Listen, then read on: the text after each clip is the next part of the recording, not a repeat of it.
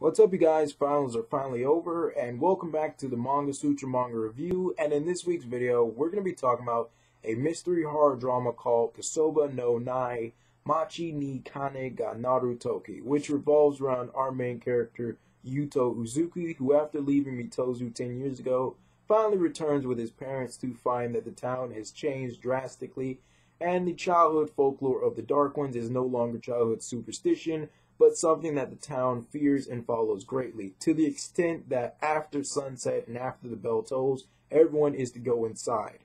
Now, the concept of this manga, of this entity, the Dark One, that comes out at sunset after the bell tolls and kidnaps or kills anyone that is outside, is definitely an interesting concept that I would like to see executed in a horror manga, but the whole manga itself is just a mess. And it's a mess because in several different aspects it fails. We have an incompetent or stupid main character in the form of Yuto, who is warned by his father to not stay out after sunset, who, after coming into contact with his childhood friend Saki, she warns him not to be outside after sunset. She warns him of the Dark Ones and how dangerous the entity is or these creatures are. And despite these warnings, after coming into contact with a dark one, he stares at it straight in the face, assumes that it's a seriously injured person. And right before he gets mauled, Saki manages to save him in the nick of time, take him to her apartment to stay for shelter for the night, and she gives him the simple task of spreading some beans on the inside of the door to perform a protective barrier to keep the Dark Ones out. Instead, he takes it upon himself to open the door to spread the beans outside. The Dark One grabs his arm, almost rips it off, almost manages to get inside of the apartment and possibly kill him and Saki because of his stupidity. Now, alongside the MC, or the main character, we have a lot of other characters that, in my opinion, I really can't root for any one of them. We have Saki, who is his childhood friend, and for some reason or another, she personally holds a grudge against him for moving out of Mitozu. He was 10 at the time that his parents decided to move out of Mitozu to the city. He didn't have a say in the decision. He couldn't do anything about the decision, but for whatever reason, she personally holds him responsible and she hates him for it. On top of that, we have Saki and Yuto's other childhood friend, Ryu Yamagami, who has a crush on Saki, but somehow doesn't have the balls to tell it himself, and is very salty towards the connection that Yuto and Saki have, and is trying to jeopardize that at every single chance that he gets we have Yuto's mom, who is very childish and in many aspects irrational later on in the manga, and we have his father, who at times is an idiot. So, for now, none of the characters are people that I root for, and the dialogue in the manga is stale. It doesn't create any good character development it doesn't continue any type of plot. The chapters are really short going forward. And as far as the action in the manga, it just feels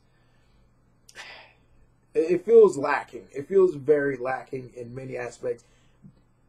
It feels like most of the action that happens within the manga, as far as the dark ones and the main character and the group, is only initiated by the group's stupidity.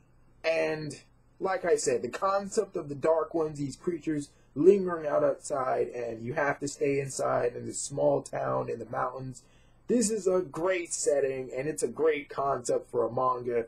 But I just feel like the author, they just didn't do any favors to this concept, and the way the main character and the cast of characters in this manga have um interact with one another and the way that the dark ones are executed is just poorly done and i'd rather just see the main character and the rest of them die because i feel it'd be more interesting as a manga instead of giving our main character who's stupid very stupid to the point that he should be dead by now instead of giving him plot armor and you know, these plot devices that keep him alive, just kill him off. Just kill him off and make it one of those types of mangas where it's just survival of the people in the village and not survival of a main character or a group of characters. Make it so that the rational people survive. Make it so that you have to actually think, that you have to actually use strategy, you have to use tactics, you have to use common sense, instead of having main characters who know that there's a creature right outside the door that could kill them, and instead open the door anyway to sprinkle some beans out there. Or better yet, having a bunch of characters who open the door knowing that there's a creature lounging around out there trying to get inside, but opening the door for somebody that they think is going to come to the door that they don't even see, that they don't even hear, but they're going to open the door anyway because one person just really wants to see them. No. It's irrational, it's stupid. I think this manga is just I hesitate to call it a steaming pile of garbage. It's not a steaming pile of garbage. I know that the artist put a lot of work into this manga, and I, I personally don't like the art style. Um, I've gotten used to it. That that's different.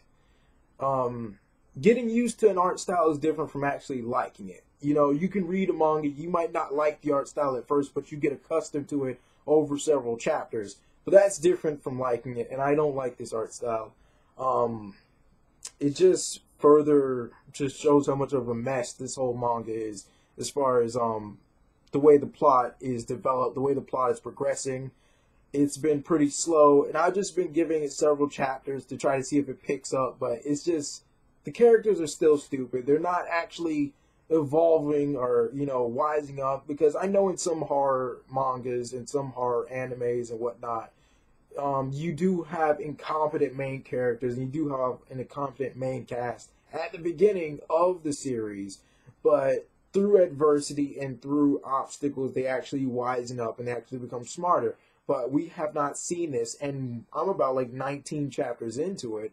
So this is VM. If you want to look at it, I recommend it as far as the concept is, but I couldn't promise anything as far as the characters. It, it makes me want to just punch the screen because of how stupid they are. But um, give it a shot. What do you think of the manga? Would you like to continue reading it? Would you recommend it to your friends? Do you think it's a steaming pile of garbage? What do you think? This is VM. Like, comment, subscribe. Bye.